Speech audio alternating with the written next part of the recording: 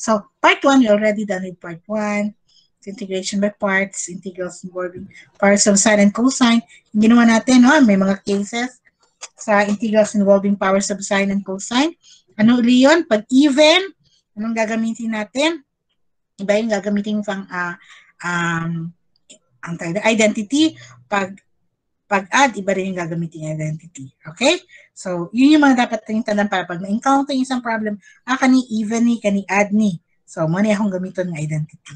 So, you have to recall all those things. Then, integrals or functions of the form sine mx, cosine nx, yun yung discuss kanina. So, this time, we are going to discuss integrals involving powers of tangent, cotangent second, and cosecant functions. And then if we still have time, we can start discussing ano, konti na integration by trigonometric substitution. Okay? And in part B, I will just leave this to you later on. Parang wala pa akong, ano ba kung PowerPoint dito? Wala pa siguro. Okay? But anyway, let's see. So, part 2A. Integrals involving powers of tangent, cotangent, secant, and cosecant function. Just like what I did earlier, the source of this is your textbook, which is Lighthold, The Calculus with Analytic Geometry by Louis Lighthold. So if you have the text, then you can just uh, review it back there. So we have integral of tangent u is, di ba ang definition ng tangent u kay sine over cosine? So you simply integrate po ang sine over cosine. So if we let v be equal to cosine of u and dv be equal to negative sine of u du, then you have the following. You are able to make use of your integral of u dv na formula. So, hindi na natin ito isosolve. Uh, you just have the integral of tangent u is equal to negative ln of v plus c. Uh, klaro naman po siya siguro kay dv over v, integral of du over u, di ba? Kay ln of u. So that's negative man diri so negative ln of v. So the formula for tangent of u is now equal to ln of second u plus c. Let's have the first illustration. Tangent, integral of tangent of 3x dx.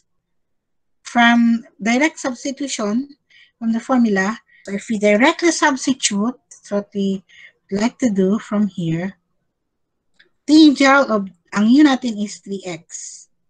Okay? So, integral of tangent 3x. Ang du natin will now be 3 dx. But the formula for integral of tangent is ln of second. So, ln of second 3x plus c. Kaning 3 dx mo naman inyong du, di ba? If you have the formula kay integral of tangent of u du equals ln of secant of u plus c. Kano yung ato ang u? dx. So, you have one-third, one-third tangent of 3x dx. Why? If your u is 3x, if your u equals 3x, then ang du natin kay 3 dx. Meaning to say, ang inyuhang du that can be replaced by tangent of u du that is written as, okay, tangent of tangent of kaning 3x na to. 3x man yun na to. Then you have du over 3 that is your dx so you have one third tangent of 3x that is your one third du over 3 diba? Then you have your tangent of u. Tangent of u du will give you the ang, ang dx na to, kanina dx, is supposed to be your du over 3. Tangent 3x. So you have one third integral of, tangent of u du. But what is tangent, integral tangent of u? Kani ln. So have 1 third ln of second of u plus c. That's why you have, yung sa manang yun yun, balik tapod mo dito sa 3x. So have 1 third ln of second of, balik sa 3x. Plus. Oops. Ayan, plus. What is this? So the following formula is derived in a similar way to the derivation of 2. So similarly, so unsa nang first na tong formula kani? This one is the first formula. Second formula is ang cotangent, integral sa cotangent kay ln of sine u plus c. So ang first, integral of tangent of u du equals ln of second of u plus c. Sunod, ang integral sa cotangent is ln sine u plus c. To integrate integral of second u, you multiply the numerator and denominator of the integrand by second of u plus tangent of u. So, therefore, ang integral na po sa second of u, kani derivation na po, just, just so you can, in case, dili makamemorize, makabalo mag-derive. Ha? Integral of second u du is ln second u plus tangent u. Integral of cosecant u du is ln. So, ang say difference sa cosecond, pag cosecond kay, you have cosecond minus cotangent. Pag second, integral niya is second plus tangent. Pero pareho sila na ln. So, you have the following two indefinite integral formulas followed immediately from the corresponding differentiation formula. So, These are the other formulas. Second squared u du, second u tangent u du. So the other one, the last one here is your formula for cosecant squared u du. These are the proofs. But I'm not going to deal on the proofs that much. Pero ito ang mga importante kasi yung mga cases. So the integral of tangent to the nu du or cotangent integral of cotangent to the nu du, this time where n is a positive integer. So when n is a positive integer, gagawin is tatanggalan siya ng 2. So n minus 2. We write this as tangent to the n minus 2u tangent squared para ma-rewrite natin ang tangent squared. Remember, nag-solve tayo kanina na ang tangent squared is equal to second squared u minus 1. So because you can rewrite your tangent squared as second squared u minus 1, you'll now be able to rewrite your tangent n minus 2 times this times second squared. Then tangent n minus 2 times negative 1.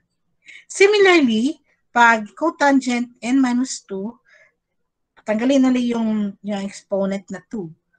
So minus 2. And you can rewrite pag cotangent squared, ang equation is cotangent squared is the same as your cosecant squared u minus 1. In fact, you can, again, mag-derive tayo para madali nyo matandaan uli, ha? Diba, gi-derive mo na ito itong sa ano. So, if you have your cosine squared x plus sine squared x equals 1, if we divide this by this time, cosecant squared is 1 over sine squared, no? So, divide this by sine squared. So, divide by sine squared x, divide by sine squared x, divide by sine squared x. Cosine divided by sine squared is your cotangent squared x plus this one is 1 equals 1 over sine squared kay cosecant squared x. So meaning to say, Kaning cotangent ninyo diri can now be written as cotangent squared x equals, kaning balhining 1, cosecant, oops, cosecant squared x minus 1. Okay. Oops, yung klaro minus 1. Ano siya? Kanin. So basic again yung pag-derive para makuha mo. So kanina, derive naman nato earlier. So ang tangent squared u is the same as your second. So, tangent cube. So, pag tangent cube, tanggalan siya ng 2, no? Tanggalan ng 2, you will have tangent x, then may mo siyang tangent squared. So, kung sa tangent squared, gani, gani, second squared x minus 1. But, tangent x, then, distribute tayo ng tangent. So, you have tangent x second squared x dx minus, pag distribute, pag balin ani, you will have negative tangent x. So, negative. Nya, kabalo mo mag-integrate sa tangent x. Kaning tangent x second squared, ang sama ni, you have actually your, di ba, na yung formula sa integral sa tangent x sa integral sa tangent, kani diretso. Uh, integral of tangent q, ln cosine, ln cosine ba siya? Correct lang ln cosine, cosine x. So, application na lang bali ng derivatives. Cotangent to the fourth, pag cotangent to the fourth, again, what do you do? Cotangent squared. So, tanggalin uli yung 2. So, cotangent squared 3x.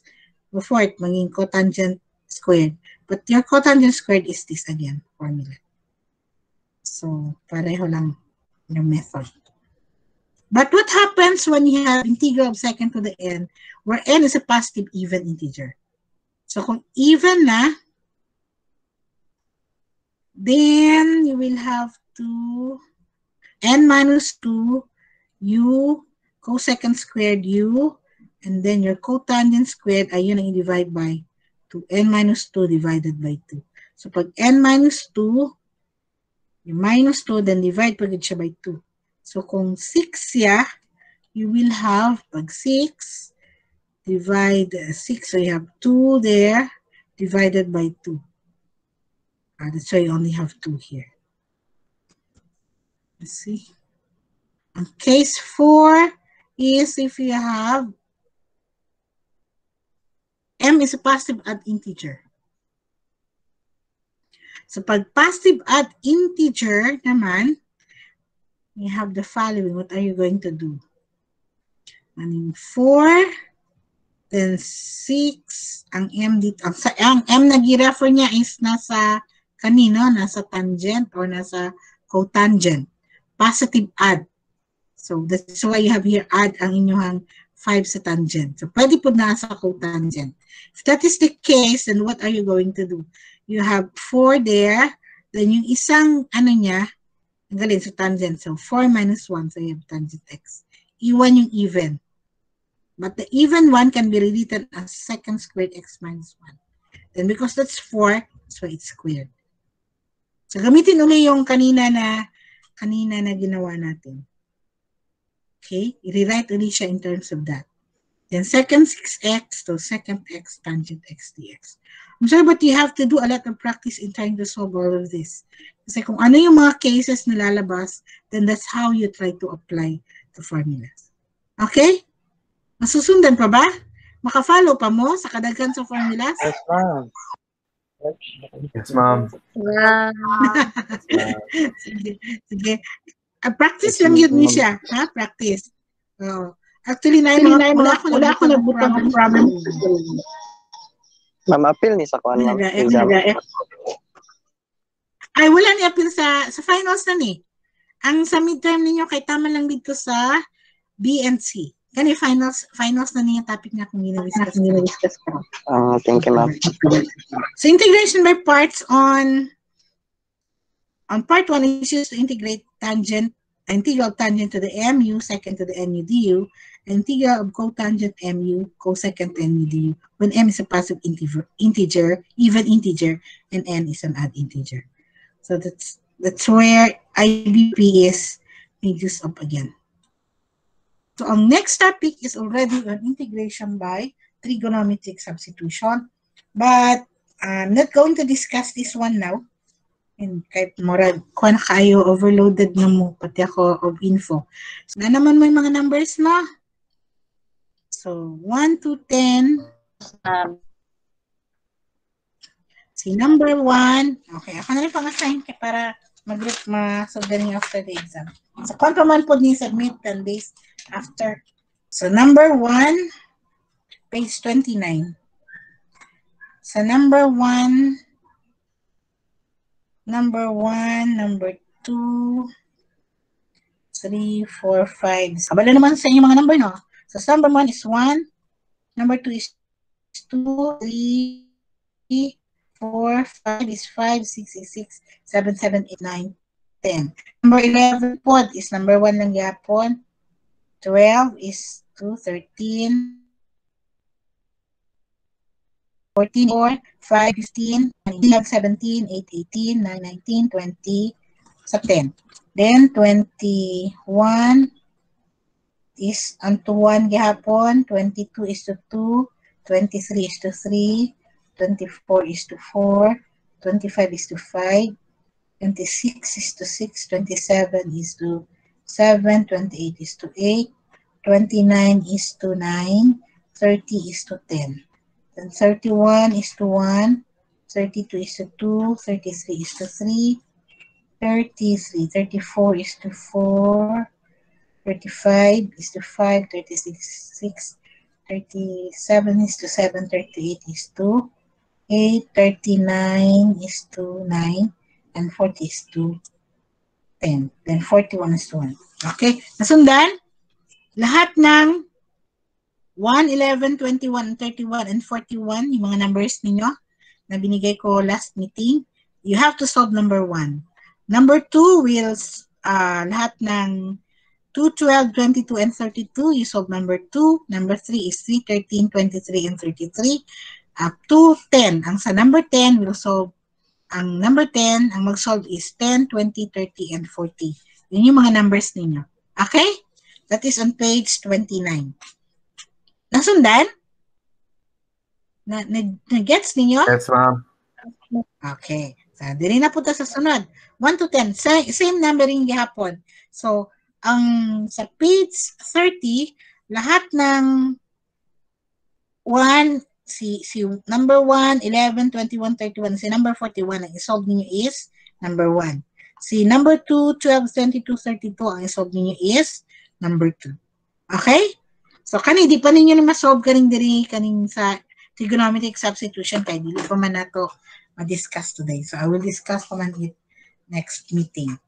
At least kung ano, kung magbasa mo daan, makasolve po ba ya mo kung... Then, ang atong mga na mga tutorials. Sa Math Lamar Edu classes. If you would like to to learn more about trig substitution, kani gwapo ni siya kay medyo basic at the same time uh, complete na ano siya kanang what do you call this one step by step. Kanipod similarly about integrals with trigonometric substitution. So an open stacks book this is a book kung wala mo katong light hold pwede nyo gamiton po ni enter over the net ihapon ni so open stacks mean to say it's free for all so you can do that nandito yung mga ano so mga link man eh can actually just click on the link So I guess I'll just stop from here. So bali nag-end tayo. Let me see. Nag-end tayo sa anong page kaya para next meeting kanang akong discuss kani. Nag-end ta sa page 20. Di na tapos yung kaya tas-tas. So page 20 and then napata this is on part 2A. Then napatay part 2B. Ang part part 1 And part 2A, I think na-post na. Ang part 2B, wala pa na ako ninesend trabaho. So, I still have to this. Then, ang um, this is on E, no? Then, ang B, so A, B, C, D, E. So, ang A, first prelim, BC is your midterms, then DE would be for your finals. Any questions or clarification at this point? Everyone. Bye, ma'am. Thank you, ma'am. Bye, ma'am. Thank you. Okay. Something. Bye-bye. Bye-bye. Thank you, ma'am. Bye, ma'am. Yes, bye.